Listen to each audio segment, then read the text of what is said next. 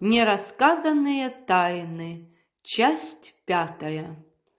Посещая богослужение, Даша заметила, что в собрании не все сестры были покрыты. Она не стала выяснять причину, а поскольку дома покрывалась, то и сюда привезла свою любимую косыночку, белую маркизетовую, по краям обвязанную розовой ниткой – Хотя после войны почти все женщины, даже неверующие, ходили покрытыми, городская молодежь уже не покрывалась, поэтому на Дашу сразу обратили внимание и поняли, что она не местная. Среднего роста голубоглазая девушка с пышными вьющимися волосами приходила на богослужение в числе первых. Она садилась в передних рядах и с большим вниманием слушала не только проповедника, но и всех, кто пел или читал стихи. Уже в третье воскресенье к ней подошла щупленькая седоволосая сестра. «Приветствую тебя. Меня зовут Варвара Тихоновна». «Даша!» – улыбнулась девушка. «Ты откуда? С Муравиц. Верующая?» «Да, член церкви. «А я сразу поняла, что ты не местная», – добродушно заговорила Варвара Тихоновна. «По косыночке. Такая тонкая, прозрачная. У нас таких нет. Пойдем ко мне, пообщаемся, посмотришь, где мы живем». Варвара Тихоновна любила служить христианам своим скромным жилищем. Она жила с мужем в одной комнатушке. Муж работал ветврачом – Бывало, приедет кто-нибудь из верующих на рынок город, заночует у гостеприимных друзей и, уезжая, оставит качан капусты в знак благодарности. А мужу кто-то косточку за работу даст. Варвара Тихоновна сварит щи и приглашает после собрания кого-нибудь из гостей. «Пойдемте ко мне, у меня такие вкусные щи!» А вкус-то у них был далеко не превосходный. Пустые щи, без картошки, без сметаны и прочих приправ в те годы все же считались праздничными. Далеко не каждая семья могла сварить такое кушанье. В этот раз Варвара Тихоновна пригласила Дашу. При необходимости у нас и переночевать можно – Тепло как-то по-домашнему предложила она. С тех пор эта добрая христианка многие годы заменяла Даше и мать, и сестру. Она была для нее первой наставницей и советницей. Не один раз Даша ела у нее эти вкуснейшие щи, не один раз ночевала на ее сундучке. Варвара Тихоновна хорошо знала священное писание – у нее была своя Библия, она много читала и знала наизусть целые главы из Библии. Через год Клава с Арсением переехали в город. Для Даши в их новом жилище места не нашлось. Варвара Тихоновна помогла Даше найти недорогую квартиру. Горько и обидно было Даше. Она вновь осталась одна, без родных, под чужим кровом но скорбь приближала ее к Богу. Читала Евангелие, подаренное Варварой Тихоновной, Даша чувствовала, как ее душа наполняется покоем, а горечь и тоска постепенно уходит. Теперь Даша читала Писание без препятствий. У Даши появились близкие подруги, они охотно участвовали с ними в групповом пении. Но самым близким другом и верной наставницей для нее оставалась Варвара Тихоновна. Она разъясняла молодой христианке, что в церкви не всем можно доверять. Есть люди, которых нужно остерегаться, потому что они только внешне благочестивы, а сердце их далеко от Бога. Однажды к Варваре Тихоновне приехал родной брат Михаил Тихонович – он недавно освободился из десятилетнего заключения. Михаил Тихонович был служителем и хорошо проповедовал. Ему сразу поручили проповедовать, и он говорил чаще всего в заключении собрания. Он хорошо обобщал то, что говорили другие братья, глубоко раскрывал свою тему и призывал к молитве. Сколько благодарных живых истин услышала Даша из уст этого многострадального служителя. Как хорошо он знал Писание, как ясно излагал духовные истины. Вскоре Михаил Тихонович перевез в Псков свою семью. Видя жажду христиан познавать волю Божью и исследовать Писание, он с радостью приглашал к себе всех желающих изучать Библию. В числе желающих была и Даша. Это были незабываемые вечера. Михаил Тихонович касался многих вопросов христианской жизни, но в основном он говорил о церкви. Служитель объяснял, что церковь создал Иисус Христос, она является его собственностью – и подчиняется только ему. Церковь состоит из возрожденных, искупленных душ. У церкви есть враг, дьявол, который старается проникнуть в нее и разорвать единство верующих со Христом и с друг другом. Разрыв может произойти из-за греха, и его надо бояться. Дьявол – хитрый и коварный враг.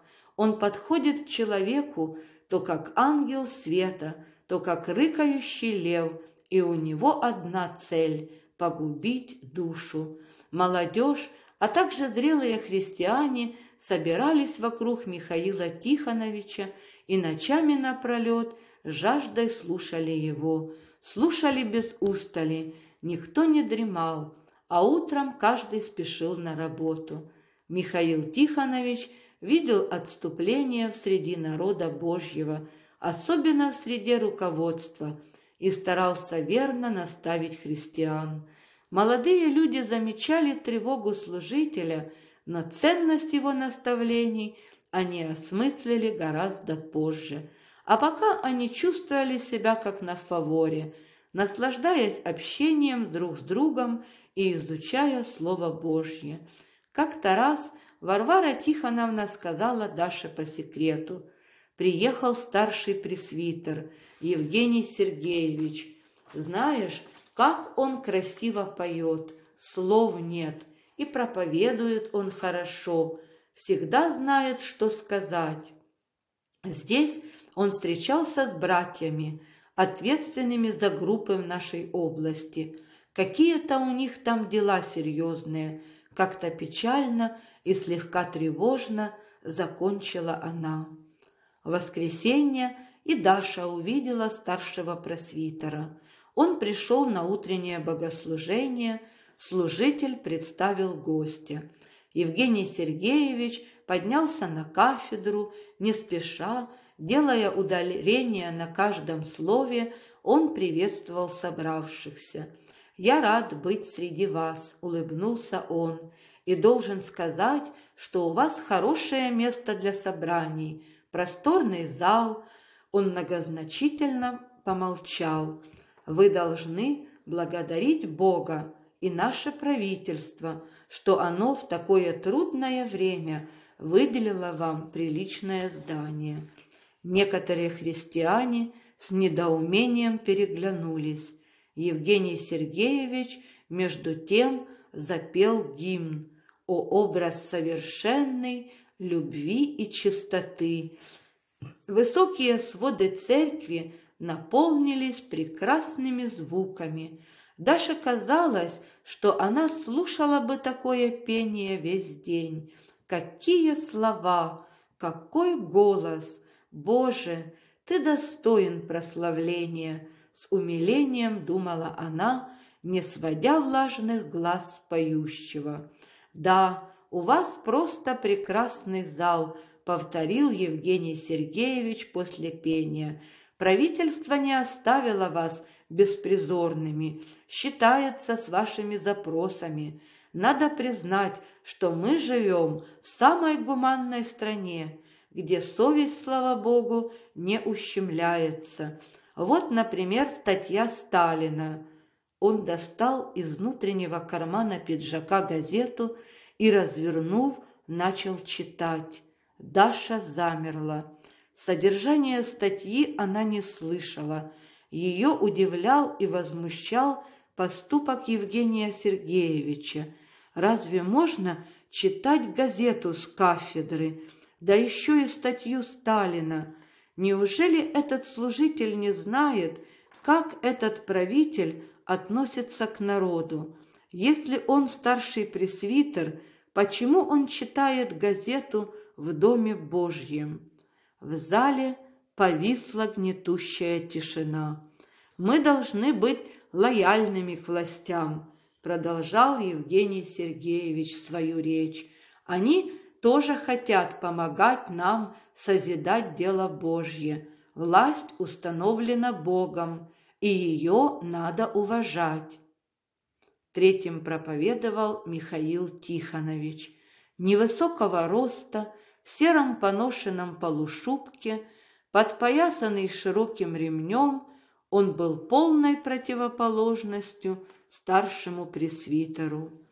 «По отшествии моем войдут к вам лютые волки, нещадящие стада, и из вас самих восстанут люди, которые будут говорить превратно, дабы увлечь учеников за собою. Посему бодрствуйте». Внятно прочитал он текст из деяний святых апостолов. Михаил Тихонович стал пояснять, кто такие волки и что имел в виду апостол Павел, предостерегая пресвитеров. Это люди не с улицы, они восстанут из среди верующих, даже из среды служителей. Они не пощадят, не пожалеют, не защитят овец, раненых не перевяжут, голодных не накормят. Они пошире откроют ворота, чтобы впустить врага, который будет терзать и расхищать Божье стадо. Михаил Тихонович говорил уверенно, спокойно, как говорят истину, которую хорошо знают. Даша слушала, с замиранием сердца. Столкнулись две противоположные силы, думала она. Что сейчас будет? На виду у церкви разыгрывается поединок. Кто устоит? Михаил Тихонович вышел против вражьей силы, не щадя себя, а сила не маленькая. Жаль брата. Господи, защити Михаила Тихоновича, стала молиться Даша. Он недавно освободился из заключения, и его снова могут посадить в тюрьму за то, что он стал на защиту церкви. Во время проповеди царила необычная тишина. Евгений Сергеевич попросил разрешения спеть еще один гимн. Пел он также свободно и легко, но теперь пение не принесло Даше наслаждения – Евгений Сергеевич попросил проповедников остаться после богослужения. В рядах послышался шумок. «Как все это понимать?» – спрашивал один. «Ну уж газету он зря читал», – утверждали другие. «Зачем же он оставляет проповедников?» – недоумевали третьи. Старший пресвитер запретил троим братьям проповедовать – оставив одного, о котором ничего не сказал. «На кого же вы оставляете церковь?» – прослезился взволнованный брат. «Что я один сделаю?» Объяснений не последовало. На следующий день уполномоченный потребовал от пресвитера характеристики на всех проповедников. В конце недели Даша заглянула к Варваре Тихоновне. От нее она услышала тревожную весть. Михаила Тихоновича арестовали. Я вот собрала ему передачу. Ты пойдешь со мной? Конечно, пойду, не задумываясь, ответила Даша. По дороге Варвара Тихоновна рассказала, что власти настроены против верных братьев, против тех, кто не хочет сотрудничать с уполномоченным и таким снова придется страдать. Михаил Тихонович под следствием был недолго. суд вынес решение отправить его в ссылку Красноярский край. Вскоре арестовали и пресвитера церкви и сослали на север Казахстан.